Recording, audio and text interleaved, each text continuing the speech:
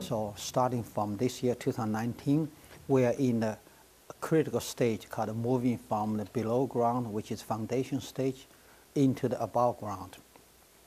Uh, first half this year, that's the first quarter and second quarter this year, we'll be doing what we call heavy lifting. All the major equipment that have been delivered to the site will be erect to the site and it's very, very visible now.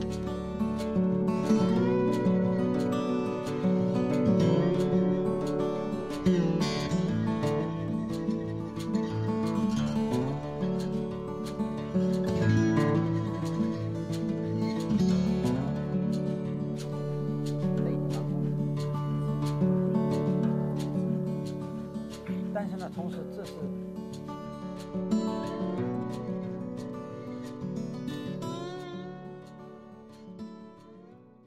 And we plan to have 70% of the product sold in the U.S. domestic market and about 30% export.